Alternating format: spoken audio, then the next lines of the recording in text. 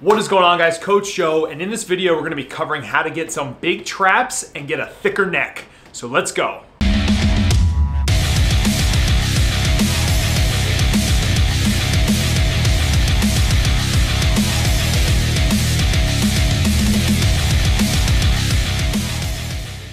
What is going on guys? Coach Joe, your 2019 USS Strongman National Champion in the heavyweight class, coming at you with a video about how to get some bigger traps and a thicker neck. But if you haven't already, make sure that you subscribe to the channel, give this video a thumbs up, and hit the notification bell.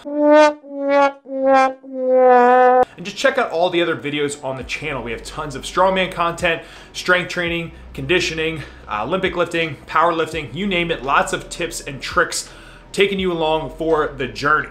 But like I said, what we're gonna do is keep this video short, sweet, to the point, covering my top exercises that I personally love to do to get a bigger upper back trap area, some shoulders, and increase my neck size a little bit. And we all know if you have a big neck and big traps, you automatically get intimidation points. Now, I do want to say before we get into this that I didn't have massive and huge traps growing up as a kid. See this picture right here. Pathetic. And I still don't have the biggest traps and neck, but they have substantially increased over time. And in this specific training block for the next few months, I've been focusing on increasing my traps and my upper back because of Strongman Nationals that I will be competing in in the future, as well as doing Brazilian Jiu-Jitsu. It's really good to have a stronger upper back, neck, and traps, especially uh, in the positions that you will be going through during Jiu-Jitsu or competition. So to paint the picture when it comes to traps, just a couple points.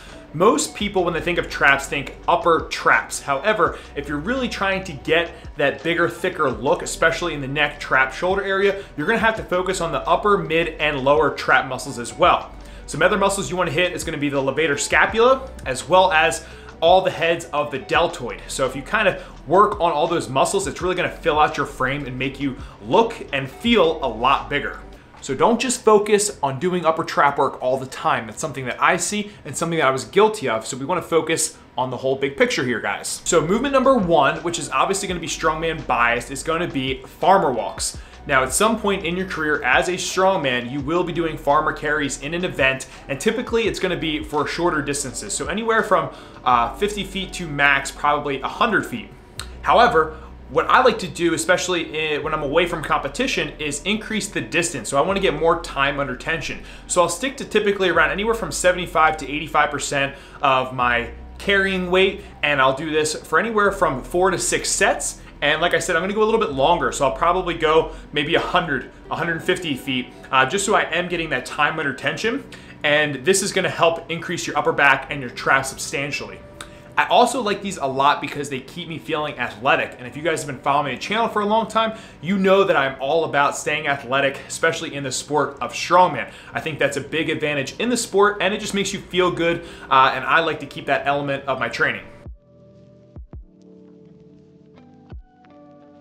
All right, so movement number two, guys, is gonna be the trap bar shrug. Now, I know a lot of you guys do barbell shrugs. However, I've been a huge fan of the trap bar specifically because of having a wider grip. And there was a recent article that came out talking about muscle activation and trying to activate the traps more uh, by having a slightly wider grip is gonna give you upward scapular rotation. And for trying to grow size in, in, the traps, I find that these are hitting my traps a lot more than the standard barbell shrugs. Uh, so maybe give them a go and see how you enjoy them. Another benefit of this is it actually mimics uh, the frame carry that you would use in Strongman. So I kind of like getting that added effect for being a little bit more sports specific for myself. In terms of reps and sets, I love doing anywhere from three to five sets uh, working in that 10 to 15 rep range. Uh, specifically for more hypertrophy stuff, I'm gonna use these in that training block. All right, guys, tip number three is gonna be rear delt dumbbell or cable flies. Now, what I had talked about before was how most people focus on the upper trap when they think building their traps. However, what I think is neglected is actually building the shoulders out and more importantly, the rear delts. A lot of you guys are probably hitting the anterior part of your deltoid or even the outsides of your delts, but we really wanna focus on those rear delts to give you that cap look to your shoulders. Now, if you build that out, I'm sure your traps are gonna stand out even more. You can also train the frequency a lot more with a smaller muscle group like your shoulders. So typically I'm hitting shoulders three, even four days a week, and I'm doing this exercise multiple times throughout the week. So the last one on my list, number four, before we get into some neck training, is going to be face pulls. I've been doing face pulls ever since I was a young lad, and I really feel like that they have helped build my upper back uh, over time. So kind of making those rear delts pop like we had just talked about, building those traps out, uh, and just overall shoulder health and shoulder stability. In terms of reps and sets, love doing three to four sets. Upward uh, numbers here, we're talking 12 to 15 reps. You know, that seems to be the sweet spot for me. Everybody's gonna be a little bit different, but typically for a smaller movement like this, especially during a hypertrophy block, I'm gonna increase that volume of this movement. Okay, so lastly, I have neck training. So I wanna address training the neck. Now, typically for most people, I would say that you don't need to do neck training, okay? You don't need to use a neck harness or anything of that nature. However, for me specifically, since I've been way more involved with Brazilian Jiu-Jitsu and combat sports, I do think that there's a benefit if you are that athlete to build your neck to be stronger, to be able to absorb more force, especially being in those awkward positions when you are grappling or when you are taking blows and doing MMA. So building the neck as strong as possible is definitely going to benefit those athletes. Like I said, if you're not in a combat sport, I think by doing all the other exercises that you do is gonna build a well-developed and strong neck. However, combat sport athletes wanna have just a slightly stronger neck because of the specificity of the sport. So for myself, I love doing these basic exercises for all different angles of my neck, just grabbing a plate, kind of doing some different head rotations on different angles. So we're gonna do anywhere from 10 to 12 reps, you know, three to four sets. Uh, do this maybe once or twice throughout the week, as well as all the grappling that I get in.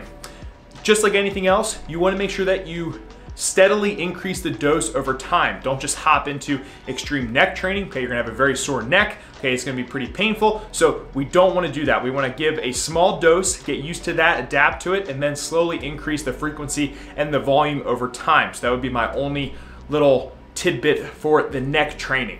Other athletes that may benefit a little bit from neck training are gonna be rugby players, football players, anywhere where there could be potential neck trauma. Okay, the bigger and stronger we can get that neck, the more force that it can absorb uh, and keep us safe and healthy. Now, on top of all these other exercises, the big ones that I didn't mention are the ones that you should be doing regardless. So we're talking deadlifts, barbell rows, overhead press work, all of those movements and their accessories or variations are gonna help build bigger, stronger traps and a thicker neck. However, I wanted to give you guys my favorite ones that I've been doing lately within this block to help me prep for future strongman events that are coming up, as well as being competitive in Brazilian Jiu-Jitsu.